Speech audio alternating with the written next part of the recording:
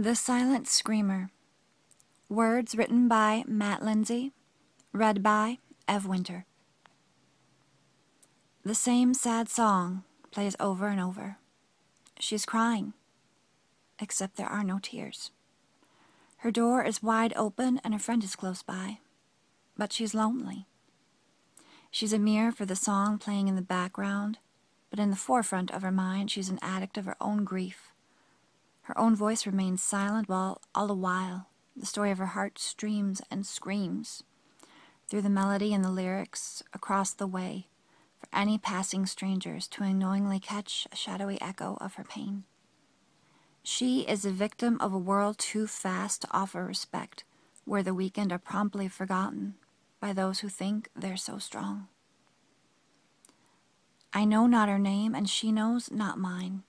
But then we need not know a name or a face, for there is no face to know. We only need recognize the actions that play alongside the orchestra of discontent. Sometimes there is laughter, though short lived as it may be. For her laughter isn't made from her contentment of being true to herself. Her laughter is instead the strongest trick in the book where her pain is undiscovered or unrecognizable to others, from one extreme to another. On one hand, strapped to her sadness and discontentment, is her ego dancing about the place, lost in its make believe world, pretending not to care about her emotions. While, on the other hand, her passionate bleeding heart floats around, weeping on a musical note. Both the ego and the self tied together, waiting for a savior, any savior, she hopes may be made of pure love. Cigarette smoke explodes into the air as if smoking were an opportunity for her to fill in life's empty gaps. Along with a brief chat, she really only celebrates the passing of time with her only friend, yet a faithful one. The scenery is too common.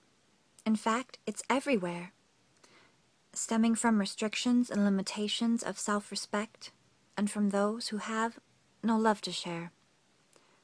I see it's Friday again, and both girls are dressed ready for an evening, a forget your worries night. It's time to let their hair down, and also time to let themselves down, along with all the other mind cluttered clowns about town. Time to get drunk, just like they always do every weekend to then drag that well deserved hangover around like a cloak of guilt as their reward for committing suicide to their souls? Yet again. She is the guardian of her pain, the protector at the reins, made from all the hurt she's got buried inside her. Confidence exists only in those areas of her life to which she is accustomed and obediently programmed, and where her working wage is the only possible goal in sight. But in her own heart there are unfulfilled dreams and unanswered questions.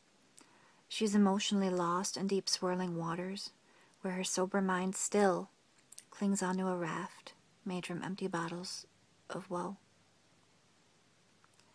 She is the only witness to every one of her own memories, but her memories are such a nuisance when they bounce in and out of consciousness, laced with self doom and regret.